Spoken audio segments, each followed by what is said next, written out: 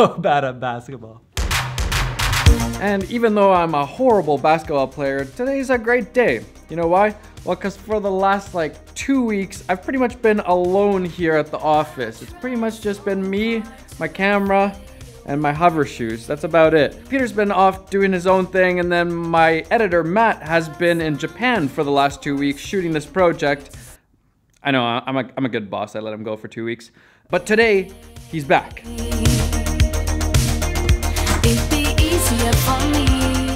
You're back. Hey, How was your trip, man? it was great. It was really cool. Japan's a interesting place.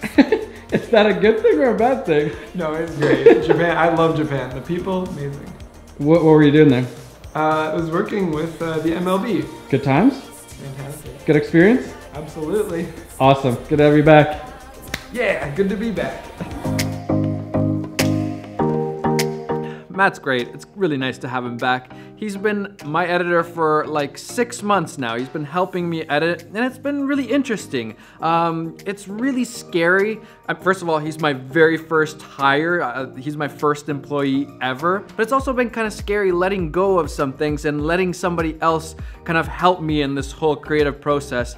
And that's that's not always easy. Don't get me wrong, I love having the help. It's a really big help having somebody, you know, go through the edits with me and figure out what's the best way of piecing this whole story together. But there are also a lot of challenges and things that make it tricky because I have all these thoughts and ideas in my head of how something should be, and Matt doesn't see what those thoughts and ideas are in my head. So I need to be able to communicate those to him so that we end up with a finished product that is in line with what I had in mind in the first place. And a lot of people I've heard say that I could never ever have somebody else edit my videos, especially for YouTube because it feels so personal, vlogs, that kind of stuff. They feel like nobody else could ever edit their own stuff. And I kind of call half BS on that. There's some truth to it for sure. I, I totally understand and get where it's coming from. But I also think that it's still possible, even with those challenges, to have somebody else help you edit.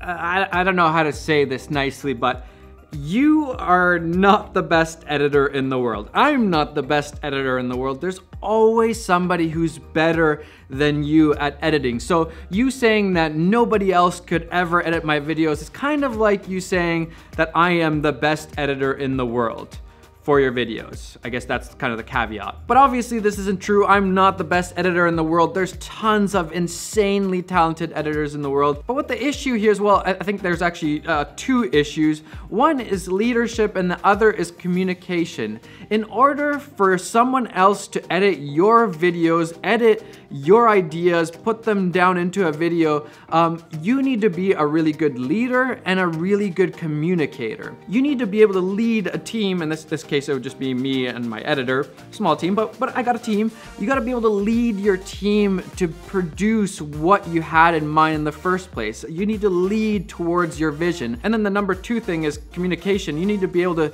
communicate those ideas so that you can lead. So you need to get all those thoughts and ideas from your head, communicate it to your editor, and then the editor can do just as good of a job, if not a better job than you can on your own video project, film project, vlog, whatever it is. It's really interesting when you start working with somebody else and collaborating more um, intensively, I guess. Um, there's a lot of things that you notice about yourself that you're really good at and you're gonna be better than that other person. But then there's a lot of things that, for example, Matt brings to the table, things that I would never even think of, things that make my videos way better because he he has these cool ideas. So it's it's a collaborative effort, but but I'm kind of leading the charge and communicating my vision and he's adding to that vision and making it even better. And that's that's I think the hard part is this whole leadership and communicating thing. It's one extra thing that you're not used to doing, but now you got to do it. But I think the, the, the, important thing here is that if you wanna make something really, really good in any creative field, really, especially filmmaking, you're gonna need to work with a team of people. Every single Hollywood film, great documentary, great short film, animation movie, all those things are made with a crew, a whole bunch of people working together. And so these same issues come up where the director or the producers, they have a vision for the, the short film or the movie and they need to be able to communicate it to the rest of the crew, the DP, um, the DP has to communicate that to the other guys. There has to be a lot of communication and leadership in order to work well together. So really what I think this whole, uh, you know, like I could never have somebody else edit my videos. It's more about um, you not maybe being a good leader yet or you not knowing how to communicate things to another person so that they can kind of fulfill your vision um, in whatever you're making, whether it's a film, uh, whether you're a photographer or whatever project you're working on. You need to be able to communicate your vision, your ideas. Uh, I guess that's the key to collaborating. But remember, you are not the best editor in the world. Uh, sorry to break it to you. Another great thing about have, having an editor is uh, Nerf fights.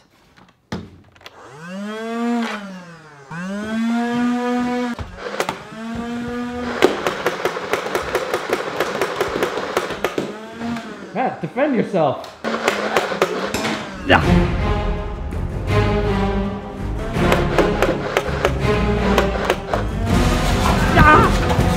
Have a camera on her.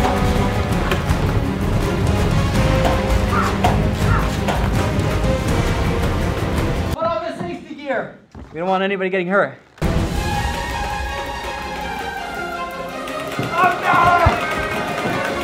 He's got the beast! Ah! I'm running out of bullets. I immediately regret this decision.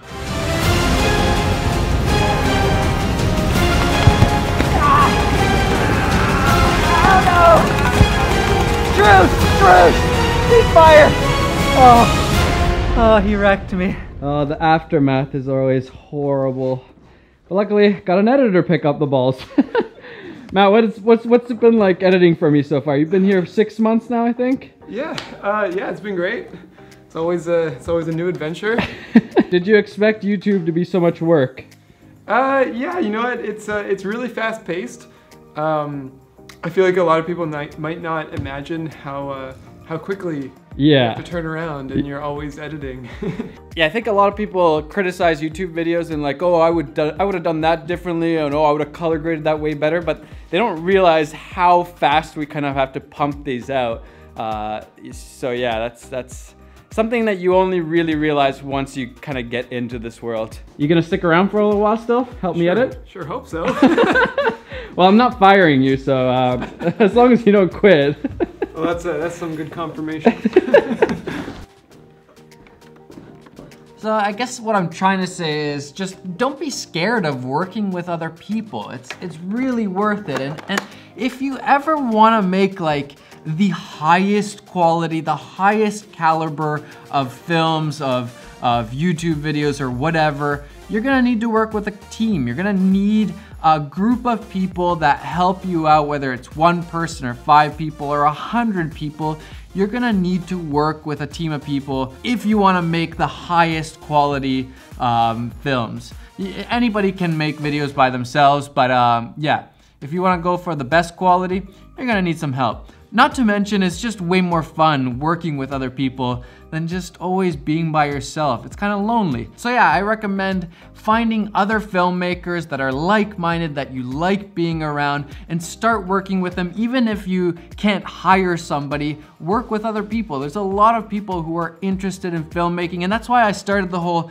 uh, YouTube membership thing. I'll, I'll link it down below. I kind of want to make this community of people who are really into filmmaking and want to meet other filmmakers so they can collaborate, learn from each other. Um, I just want it to be this tight-knit community of people because I can't hang out and collaborate with everybody, but there's a lot of other people who are willing to, to make videos together. So uh, yeah, if you're interested in becoming a member, I'll, I'll link it down below. You get a free preset and uh, some other perks. Uh, check it out.